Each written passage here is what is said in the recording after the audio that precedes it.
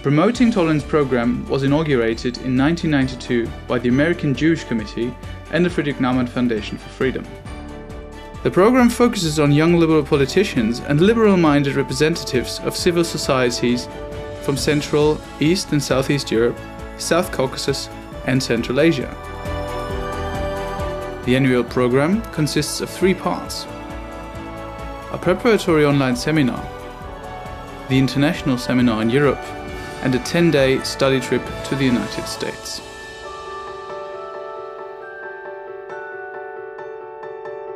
The goals of the program are promoting a climate of tolerance, pluralism, respect, and the appreciation of diversity, improving the rights of minorities and creating an atmosphere of mutual acceptance, exchanging best practice experiences, encouraging cross border cooperation, establishing and strengthening contacts between the program's participants and alumni, promoting tolerance through the strengthening of civil society.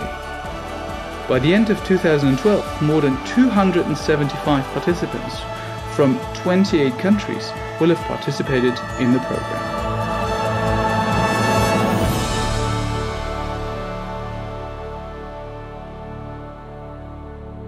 All the countries of Central, East, and Southeast Europe, South Caucasus, and Central Asia are countries in transition and in transformation. It is very important for institutions like the Friedrich Naumann Foundation and the American Jewish Committee to reach out to these countries and establish a framework of joint cooperation. Promoting tolerance program organized by Friedrich Naumann Stiftung and American Jewish Committee uh, was basically part of my political education.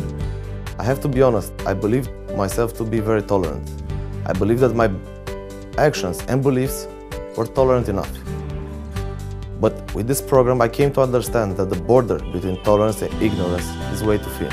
This program, uh, I was well over 40 and I felt it as very important to learn how the life uh, in democratic societies goes.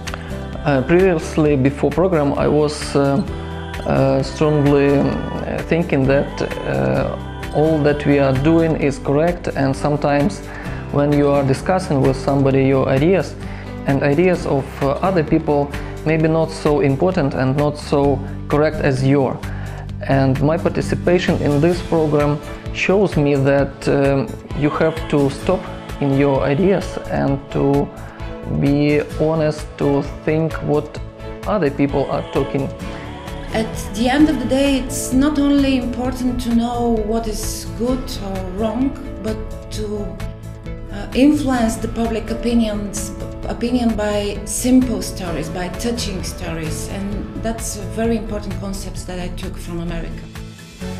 Uh, it always is uh, very impressive and important to be equipped with the uh, knowledge and experiences of others that can be used, easily applicable, or just having reliable partners elsewhere in the world uh, that are there always, anytime. Uh, that uh, beauty of diversity of views and the tolerance in a way to reach conclusions that Uh, benefit the greater good for the society was one of the best experiences I had, and I thank you very much. I think all the participants have had extremely pleasant um, experiences with the program, especially also with the study trip to the United States. There's a lot of information that all the um, uh, participants get to know. There's a lot of contacts um, uh, with different institutions. Um, it's an enormous benefit on personal and also on professional um, respects um, that the participants gather. And working in this region, but also growing up in this region, I realized that there is a lot of prejudice regarding uh, United States and uh, basically a system of United States. And for me, this was really important learning experience to see uh, how this actually looked like and how this system functioned. And all of a sudden we saw different parts and different communities, and this really uh, uh, uh is broadening perception and views and picture of America. Uh, I think that uh, the main purpose of uh, this program is its mission and it's very successful mission.